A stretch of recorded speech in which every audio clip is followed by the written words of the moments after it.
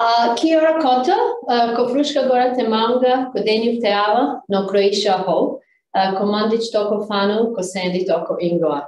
Uh, thank you all very much for coming today. My name is Sandy Mandic, and this is a lovely um, group of um, team members from the BEATS research team, and we will share with you some of the latest findings from our research.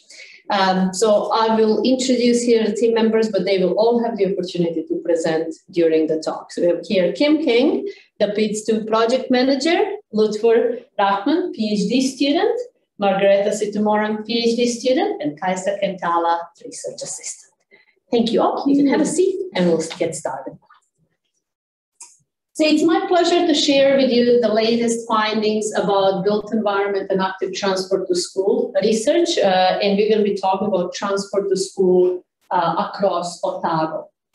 This has been a journey of eight years, and a number of people have contributed to this research. And here we have just a few team members that are presenting, but our team members span several universities and organizations in New Zealand as well as internationally. Um, this is just the basic structure of our team. We got key investigators, we got a number of collaborators, and we also got advisory board members from the Dunedin community representing schools, uh, city council, as well as uh, representing Pacific community. And Janet Stevenson is our advisory board academic from the Center of Sustainability. So BEATS is an interdisciplinary multi-sector research program that looks at individual, social, environmental, and policy factors that influence how young people travel to school. And this is a collaboration between the University of Otago, Auckland University of Technology, Dunedin City Council, and the Dunedin Secondary Schools Partnership. We also worked with Otago uh, School Principals Association as a part of BEATS rural study. So the whole program is set up to look at the transport to school, uh, taking into account individual factors, uh, socio uh, socio-cultural environment. So basically, what peers think, what uh, parents think, or what the influences of the school. Looking into built environment uh, as well as policy environment.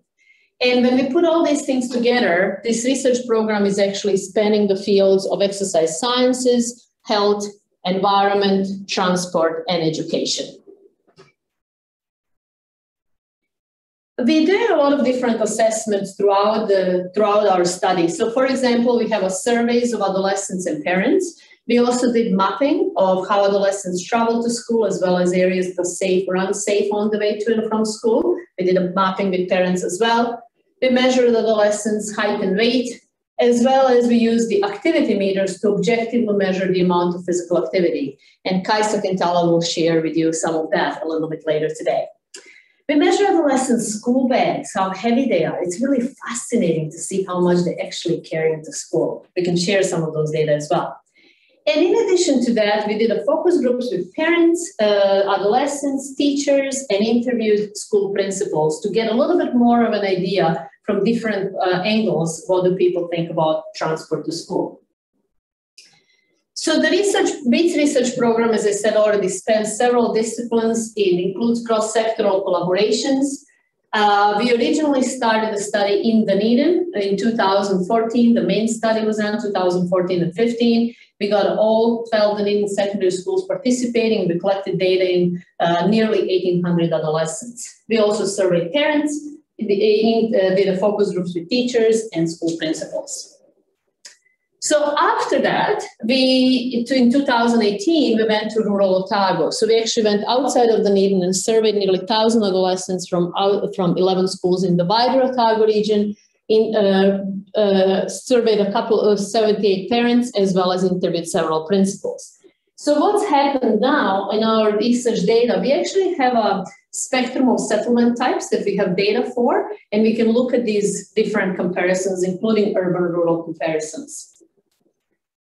In 2018, we also initiated a smaller study to look into Maori and Pacific adolescents' perspectives on transport to school, and we conducted that study in Dunedin as well as in the, um, the Bay of Plenty. So we're continuing that work as a part of the work that we're doing nowadays, and that's a BEATS natural experiment which is um, following the baseline data that we collected in Dunedin, there has been some infrastructure changes, cycling and pedestrian infrastructure around some schools in Dunedin. So we're actually uh, collecting follow-up information and looking whether adolescents that are going to the schools that had infrastructure changes had a change in the behavior, how they travel to school, and change in the perceptions of that school environment for walking and cycling. And you're going to hear a little bit more about that towards the end of the presentation. So when we put together the original BEAT study that we completed, as well as the rural study, we actually surveyed adolescents from 23 schools in the Otago region, and our total sample size that we have in our study is over 2,600.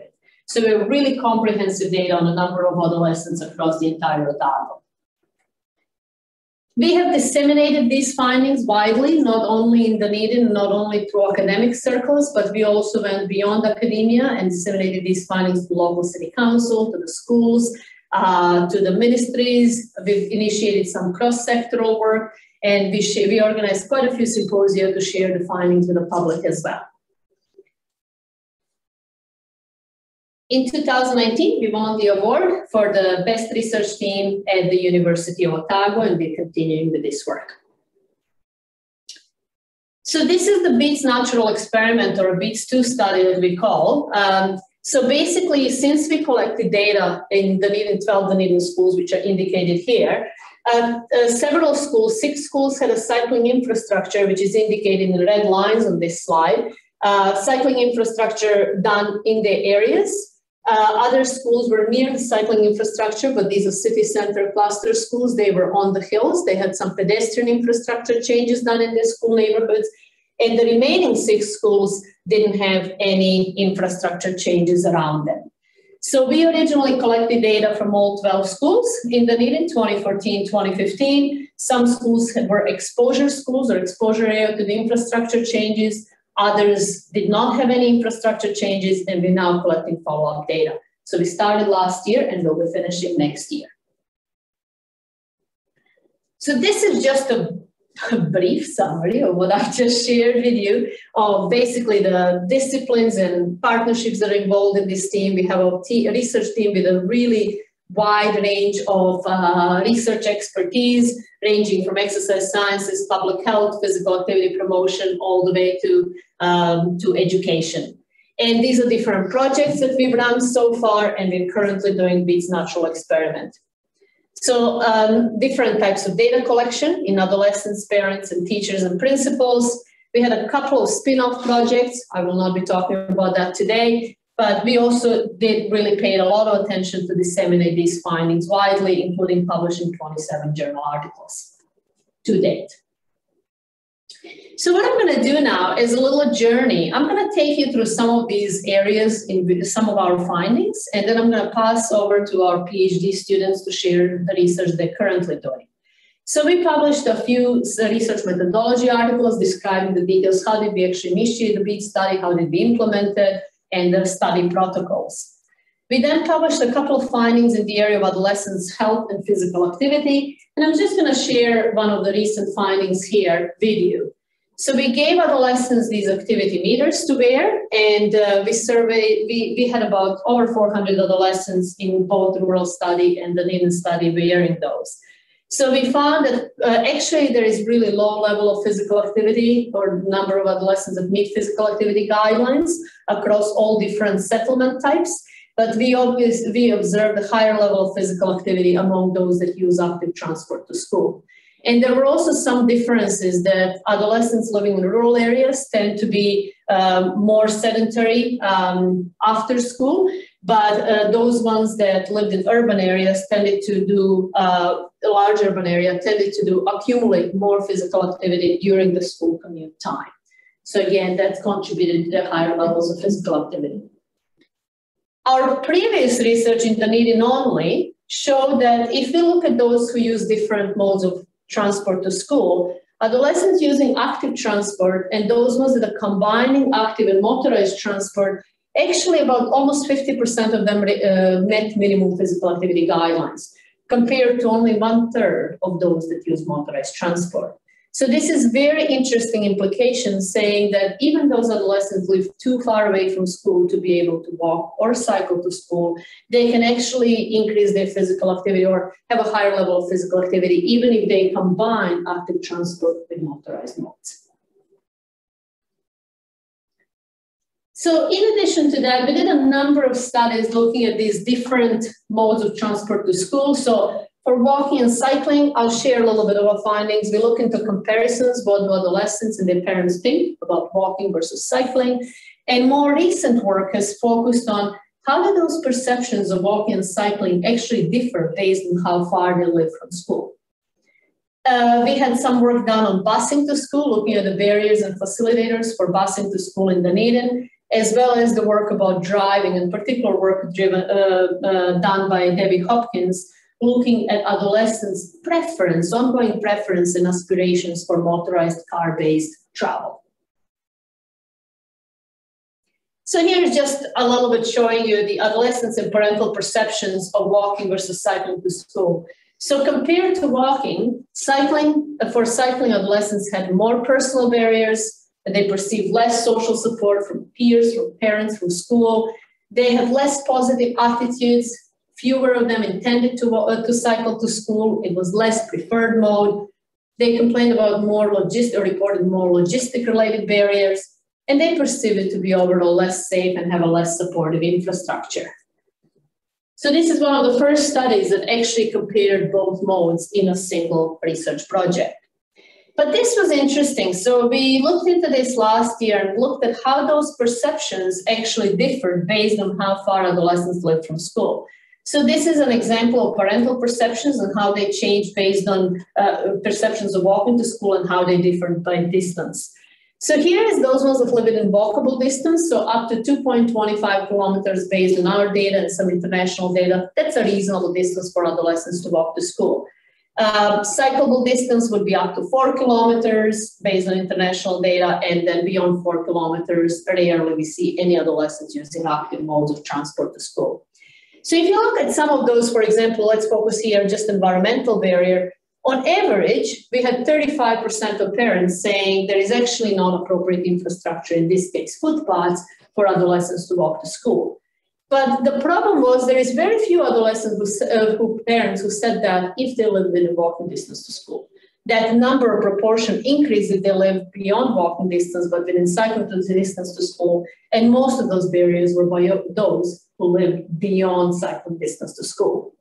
So we actually observed that for both walking and cycling. Uh, so those those changes as the distance to school increased, what we saw is there was less social support and more personal environmental barriers for walking or cycling to school. So the, what we need to do is the future interventions really need to take into account how far those adolescents live from school, and then we need to design interventions appropriately. So this is our latest findings. This is looking at the student data, similar thing, looking at how far they live from school and how those perceptions of walking and cycling change. And this is just a summary of our data. This is unpublished, so in preparation, don't cite it yet. Hopefully, we will have that out soon. But it actually shows how there are differences and uh, different uh, changes in the perceptions of both walking and cycling to school as the distance to school increases. One thing that is uh, interesting, so for example, for cycling to school, there was no difference in perception of the infrastructure lack of cycling lanes was observed and regardless of which distance that adolescents lived from school. And the same thing, overall intentions for cycling was very low, regardless which distance they lived from school. So I'm not going to go into details here, but this is just our analysis on the barriers to using public buses for transport in Dunedin, and this was led by Professor Jenny Mindell from University College London, and we identified using the BEATS data as well as some other previous research that I have led here in Dunedin, we identified barriers related to public buses themselves, but also social the barriers related to social environment as well as built and natural environment. This is another, just an example of a slide. This is showing the work of Debbie Hopkins, looking at adolescents' aspirations for motorized transport to school based on a base, uh, based on a BEATS data. And what we found, there is actually a number of family factors, travel behaviors, attitudes and norms and intentions that are associated with adolescents' desire to uh, obtain a driver's license and basically aspirations for private car-based transport uh, to school.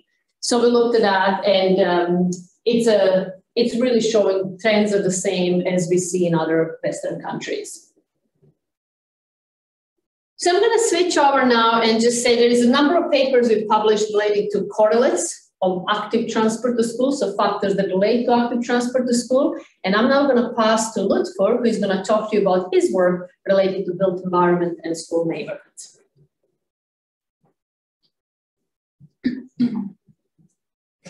Good afternoon, everyone. Uh, today I will talk about uh, my research on school neighborhood building environments and adolescents walking and cycling to school. Actually, uh, this uh, research is a part of BEATS 1, um, BEATS R, and BEATS 2 study.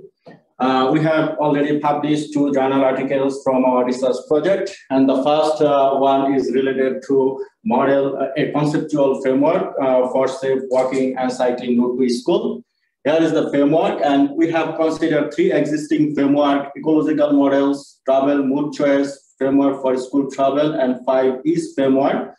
Now the question is, so why we consider these three existing framework? Actually, we try to identify a wide range of factors that are related to adolescents walking and cycling to school, as well as to identify the most influential factors that need to be considered for modeling safe route to school.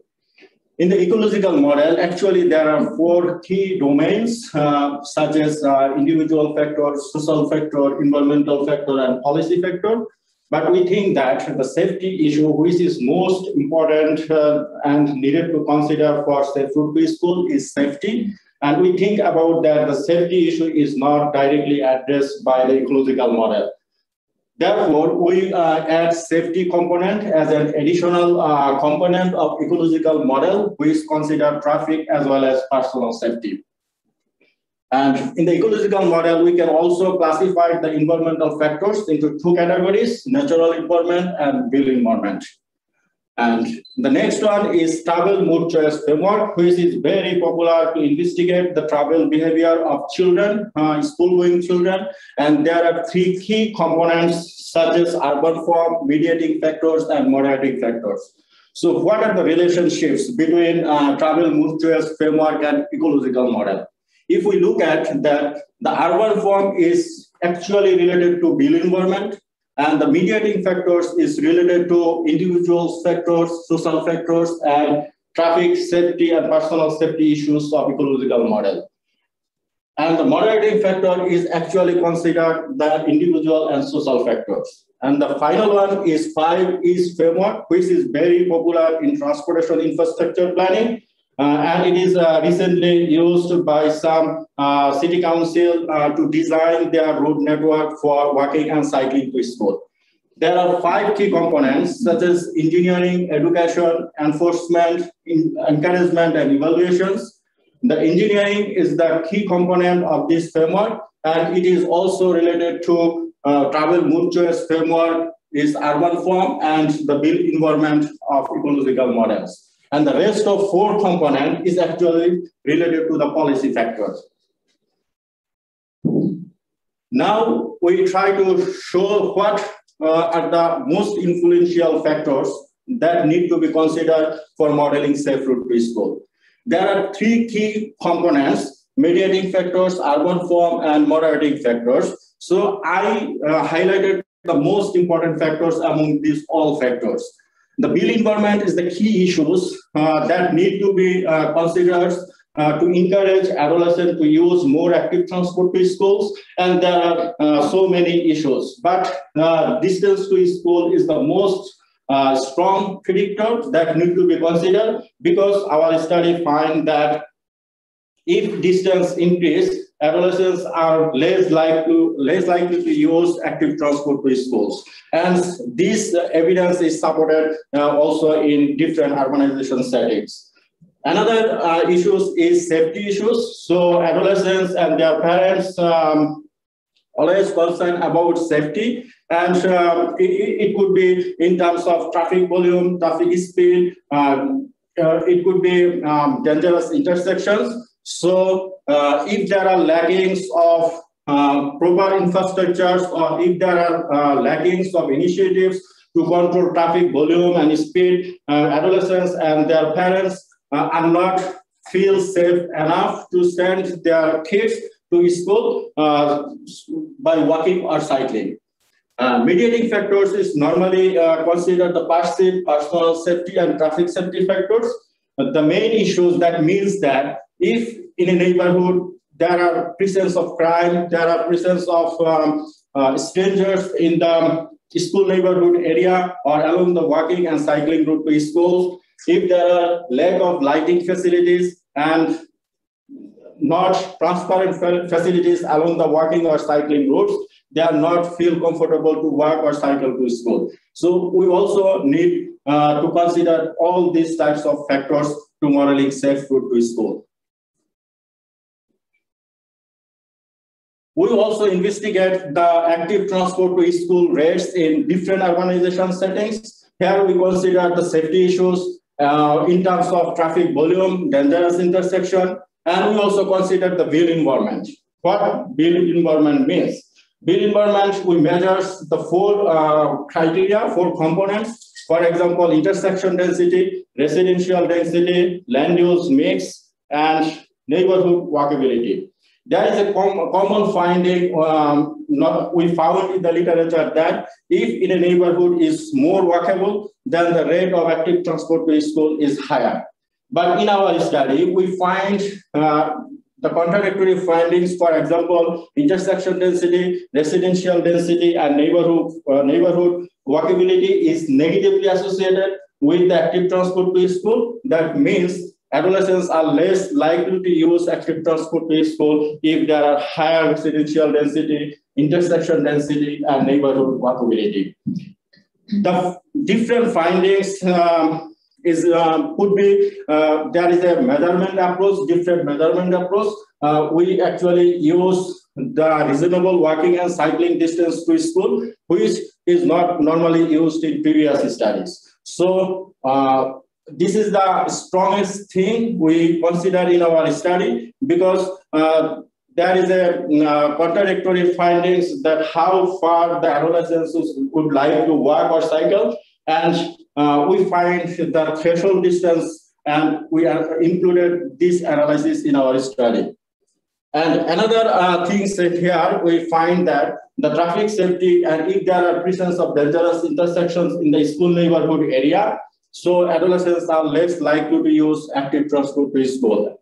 But the most important things here, we need to uh, conclude that the land use mix is, is still uh, positively associated to walking and cycling to school, although there are some weak relationships. And we also try to identify the built environment into different categories, try to measure this one. And this is called the objective measures and passive measures. The objective measure says that uh, we try to find out the built environment features measures by geographical information system, GIS, because we think that uh, it is uh, one of the uh, most important technique that actually represent the real uh, scenario of an school neighborhood. As well as we need to consider the uh, what adolescents and their parents thinks about their school neighborhood. And for this measurement, we actually use the NEWS-Y questionnaire. And we find that the land use mix is negatively associated with the um, active transport to school rates in different urbanization settings, for example, small to medium urban area as well as rural settings. So the main thing is that the land use is not evenly distributed in small to medium urban area as well as rural settings.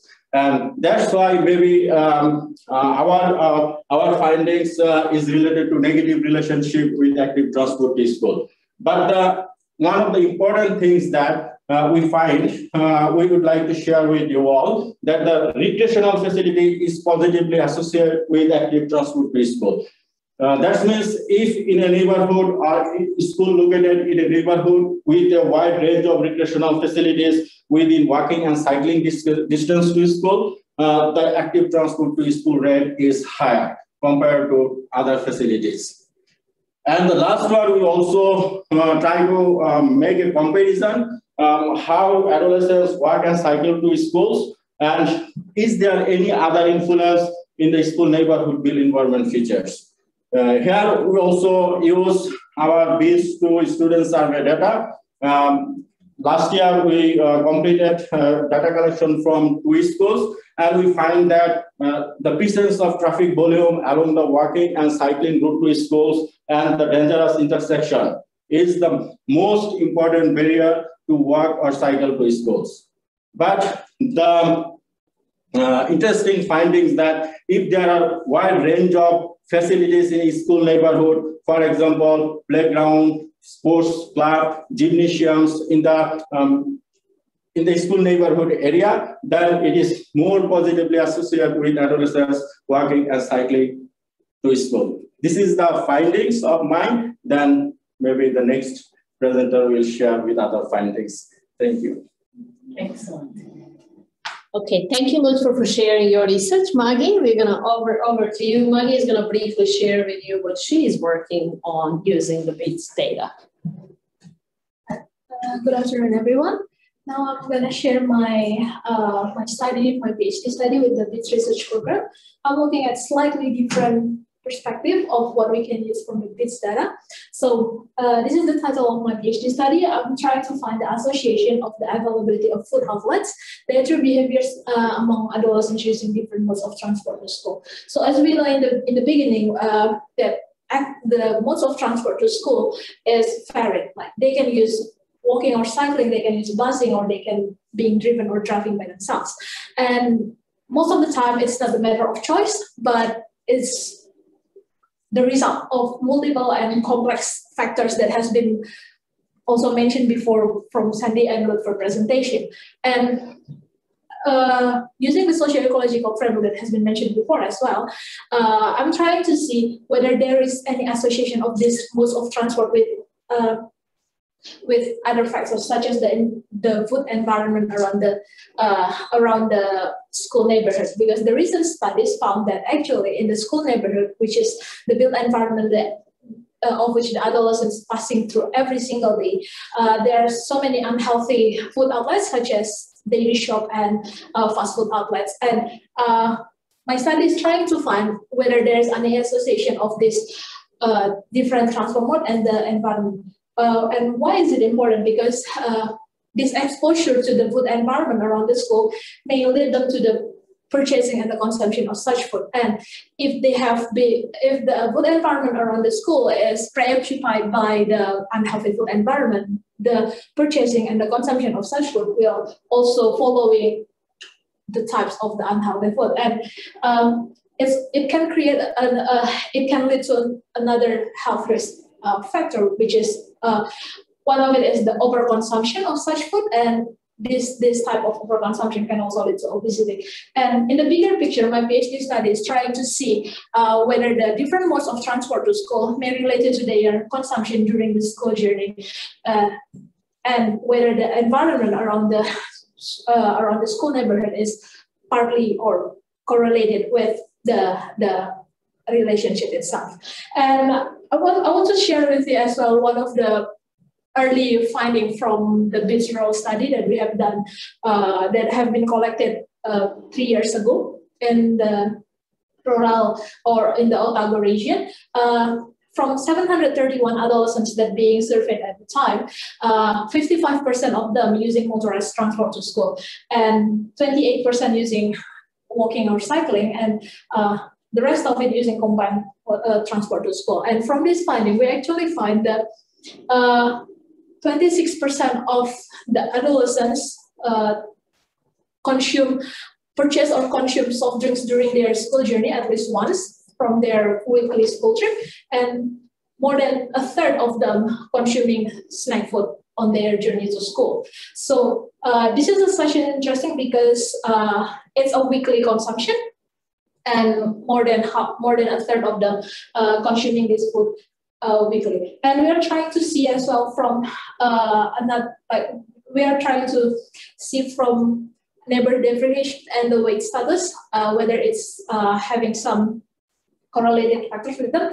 And we find that there's a higher odds of snack food purchase among the those who are using mixed transport compared to those who are using motorized transport. And interestingly, there's actually a lower uh, lower odds of adolescents purchase and consuming soft drinks and snack food uh, from those who are having a healthy weight and those from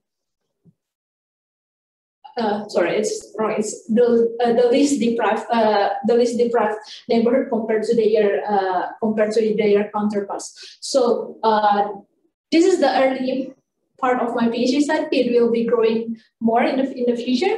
But from this finding, we uh, we can we can see that actually there is some association.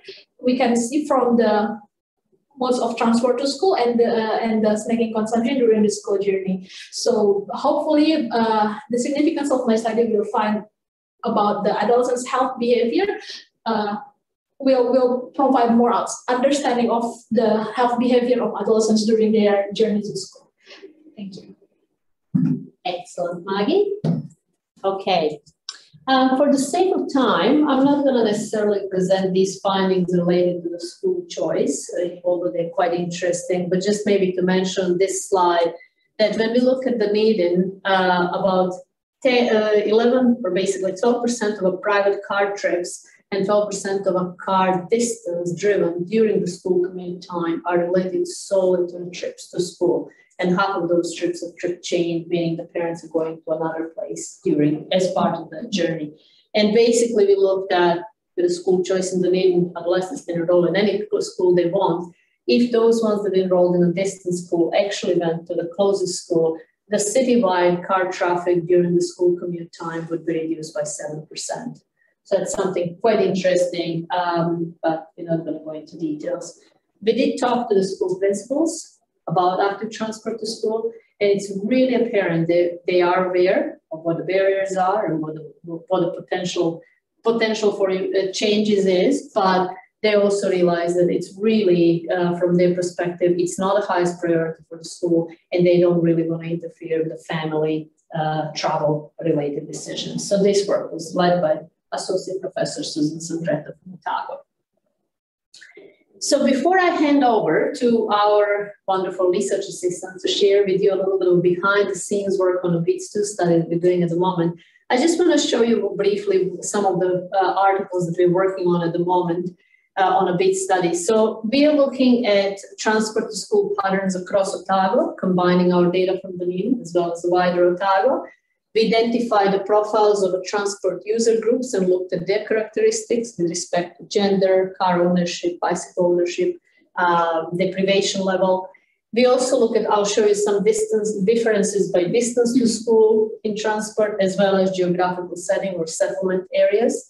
And the work that I'm not going to show you today is not published yet. Um, we're working on analyzing what are the factors that influence whether adolescents walk to school if they actually live in walking distance to school. And also, what are the influences on cycling to school if they actually live in cycling distance to school? A lot of research that's been done in this area was taking into account any sample of adolescents without limiting the distance and just putting distance in what we call multivariate analysis. But the reality is we know that distance is by far the strongest predictor of transport, active transport to school. If they live beyond walking or cycling distance to school, they're not going to walk or cycle regardless of the other factors. So those are some of the things we're working on at the moment. And uh, so I'll just share a couple of slides here. So this is a presentation looking at all Otago adolescents data that we have, so 2,400 here. If you look at the distance to school, if they live within walking distance to school, there's actually 60 or 58% of them walking to school. So really, when we think about it, we don't really have a problem with active transport there. There is additional 6% that cycles to school, and then we have about 20% that are taking a car even though they live that distance to school. So that's potentially one of the target groups that we could look at intervening at. If we now move beyond walking distance, but within cycling distance to school, we obviously, as expected, we see a significant drop in a proportion of adolescents that walk to school, but there's still about 14 of them within that distance walk to school. Now we got 6% of the students that cycle, but we got 58% of them that are traveling to school by private vehicle, either driving themselves or being driven to school. And then now buses are coming into the story.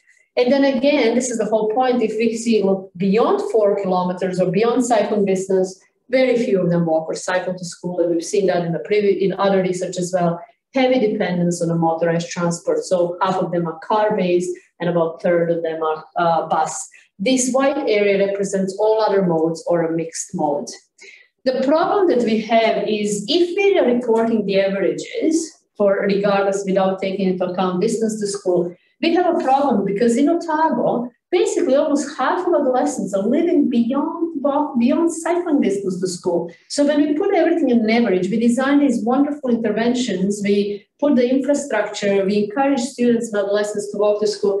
Well, if they are beyond walking or cycling distance to school, they're not going to walk or cycle to school, regardless of the interventions. So we really need to think into account, uh, take into account distance and take some distance-based approaches to promoting active transport to school. So now, because in, the, in our study, we actually have data on different settlement types, this is now showing if they lived in rural settlement, small urban area, medium urban area, or large urban area. Actually, the modes of transport to school were not that much of a different across, especially if you look walking across those settings. And this is without taking into account distance, right? So we actually see a much bigger variation in these transport modes to school based on the distance to school than we see based on the settlement type. So here is those two slides that I just showed you. So this is distance to school and this is settlement type. So the papers that we or journal articles that we're currently working on is actually, this is now showing you only those that live within walking distance to school, depending on a settlement type they live in, what, what are the rates of walking and cycling to school. So you can see within walking distance, basically between half and two thirds of adolescents cycle, sorry, walk to school, regardless of the settlement type, like across settlement types. We see a larger variation in cycling to school in small urban areas, 17%. This is Dunedin, 1% of those that uh, walk to school. And then obviously there is a large difference in uh, motorized transport rates. So we're looking now in among those adolescents, what are the factors that predict or correlate whether they walk or cycle to school? And comparison, now this is within cycling distance up to four kilometers. Again, you can see very similar rates of uh, walking to school across different settlement types but significant differences in, uh, in um, cycling. So there is something happening in these small urban areas that includes Wanaka and Cromwell, where we can look at how come they have much higher rates of cycling to school compared to other areas. So that's going to be a part of the future research. And as I mentioned, we did look into these profiles of users, but I'm not going to go into details. And that actually helps us determine where are the future interventions and where should we go with the future interventions. So I'm gonna hand over now to Kim to tell you a little bit more about the BEATS data, BEATS 2 study. We're not gonna present any more data, I promise. This is more about behind the scenes work. So Kim, over to you to share what you do on the BEATS team. Thank you. Oh, wow. Um, okay, so my presentation, I guess, is in complete contrast to the previous ones, um, and it really is from a person-to-person perspective, I guess. Um, because my role, I think, is really just communication and logistics. That's my key job for the Beats team, and it's been great to be involved for the last three years with the fantastic team that we've got. Um, so yeah, just I guess a little bit of insight, a little bit of background into what I do as the Beats coordinator is really just to make sure that we have really, really good communication with the schools. Um, I know Sandy and I have met with um, many of the um, principals of the schools or the uh, senior management at the schools to organise, hopefully getting them on board with the study. Um, and then really the key part for me going forward is once we have them engaged, and thankfully we have all 12 Dunedin secondary schools involved for the BEATS 2 study, um, that I go on then and carry on um, maintaining great communications with the schools and the teachers that are involved in helping us to deliver the projects because uh, we need to work with them in promoting the study to the students, uh, recruiting the students, and then making sure the students turn up for our data collection sessions when we go into the school. So um, a really key component, I guess, for me and what I've been learning as I go through is every school is very different. Every setup is very different. Every management style is very different. So I've had to adapt my communication styles to each school as well to make sure that we have them on board. Um, they feel like there's not too much for them to do. Um, and uh, yeah, so that's so from a logistical perspective, it's really, really important that the, the smooth running of those data collection sessions when we get there. So, in complete contrast, I guess, to the results and what you're finding out from um, Sandy and from the PhD students, mine's really just my role is really making sure that we get the data in the first place and that that data is clean and it's um, it's the, the results that the researchers need. Um, and then obviously the other component for the communication sound is I'm really there just to make sure everybody's happy and everybody is doing what they need to be doing and they feel supported. So I guess that's um, it's all lovely to see all of our cool photos here of all of our team. We have such a fantastic personalities, and that really makes my job so much more fun. Um, so I really need to make sure that when Sandy and I go and meet with the principals, that all the information that we gather, I can communicate to the teams to say, right, this is what we're going to be doing. This is where we're going to be going. Please, can you make sure you can come along and help us? Um, and also maintain that with the schools as well, um, that they know when we're coming. Um, but logistically as well, just in the background, this is a great photo down here. There's many, many pictures of various stages where we're sticking things, getting all the BEATS study material ready. Um, there's a lot of work that goes in the background, and um, it's so good to be able to work with such an effective team that we have everything organized. And mostly that goes to Sandy because she's fantastic at project managing and she keeps us all in check. So I've definitely learned a lot along the way. Um, but we do a lot of work behind the scenes just to make sure when we are in the schools that and the students walk in the door, they're welcome with a smile and they come in and they um, take part um, and everything's organized for them. And I guess there's a, we have a lot of anecdotal, a lot of fantastic stories behind the scenes of all the work that goes into everyone setting up all the banners, all the material and equipment that we need to, to do the study. And there's name tags going on over people's heads. There's here, you need a pen, here's your, your, your clipboard. Um, so that's really my thing is just to make sure that everybody else's job is made a little bit easier and that there's things they don't have to think about. Hopefully I've thought of and I can support them with it. So um, yeah, it's been good fun. And I think that's, yeah, that's really, it's, it's really valuable and really rewarding. And I think from my perspective as well, there's a lot of talking about the findings that we're getting but from my perspective, working with the schools, talking to the students, um, it's really important that they understand as well what they will get back from the study as well, and what they can use going forward that will help them in their school community and their, their policies they have within the schools and things like that. So, yeah, that's me. I think that's probably enough. And I know we're going to be passing on to my fantastic colleague. So. Great. Thank you, Kim. And now over to Kaisa who is another key research assistant, and she will share with you a little bit of work that she does for the team. Oh, hello, everyone. Um, yes, I'm talking about more now what's happening during the data collection.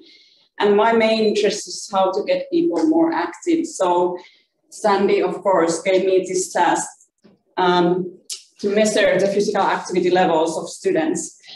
And this is the tool for measuring the physical activity levels. And and show you how we wear or the students wear. So they put it on their hip on the right side. And the idea is the student is keeping this for seven days and every day using this for 12 hours per day and taking this off when they are sleeping or doing spinning or taking a shower. But otherwise, what we get for those uh, tools, activity meters, we get the levels of the physical activity. So it's not about, um, we are not following them, it's not GPS tracking advice. So we just get these graphs. And later on, also the students are getting the same graphs. So it's really interesting also for students to see how active they actually are. And what happens during the data collection, of course, we ask students first, do they want to take part of this um, tool or measurement, uh, activity meter measurement. And if they want. So that's all happens during the data, data collection day. So we set them up and give the activity meters after school day. So that's what happens during data collection. And then I think the best part of this work for me is the teamwork. So all the study, um, the work, we are doing it as a team. And as you can see, all these pictures, everyone is smiling, we are happy. Uh, we come from different backgrounds, different countries, but this team really works well together. And I think this is the funniest and uh, the best part of the work for me. Okay, great. Thank you, Kaisa. We'll finish off now with um, just uh, and open up the floor for questions. But basically, we release every two years a program report. So you're welcome to pass this to the people, the audience. Um, we release the program report. This is the latest one that we just released. This is for our stakeholders, policymakers, anybody who is interested in our work. And it provides a summary of what we've been doing in a lay language and reference to the full, uh, full information if anybody would like to look up the research articles. So with that, I'd like to thank the entire team, everybody who is here, many people around the country and around the globe who participated in this work, and many people who have contributed to the BEATS team over the last eight years. And um, I would like to thank these my wonderful co-presenters. If you can all come here, please, now. Uh, that would be great. And uh, we're very happy to open the floor for questions and answer any questions that you have. Thank you.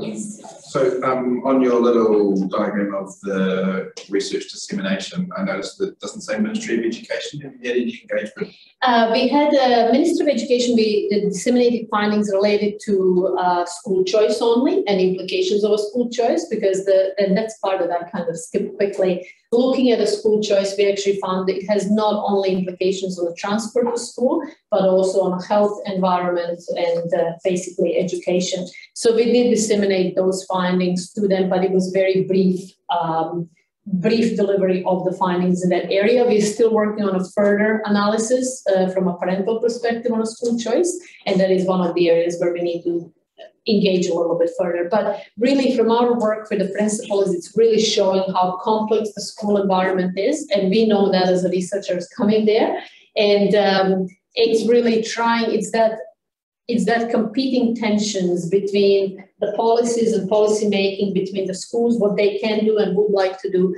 and how much time and resources they have to put in certain areas.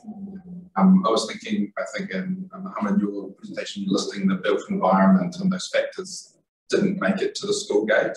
Some of those, so the pick up and drop off areas would be an influence. Um, and if it's really easy to drop your kids off in the car, you're more likely to do it if it's if there's not enough cycle storage.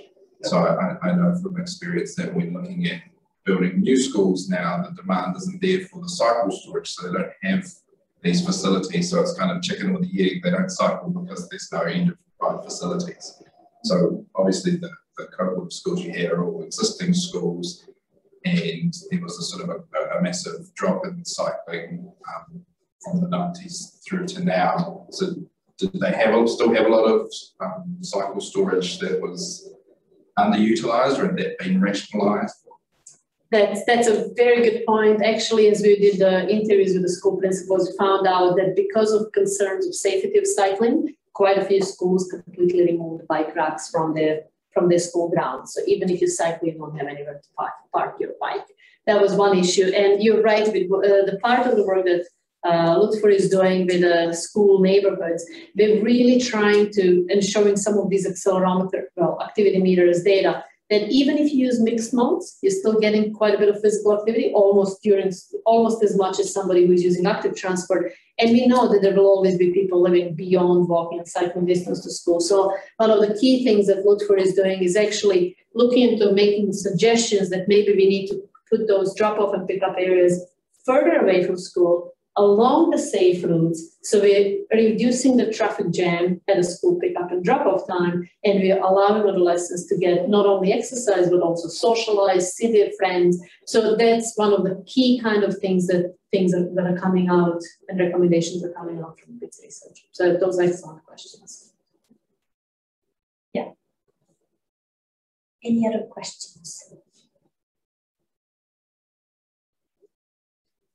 Well, if not, thank you all very much for your for coming today and for listening to our talk. And if you have any questions for us, feel free to contact us. And we hope to be able to share with you more of our findings of the BEATS 2 study that will be coming up in the upcoming years.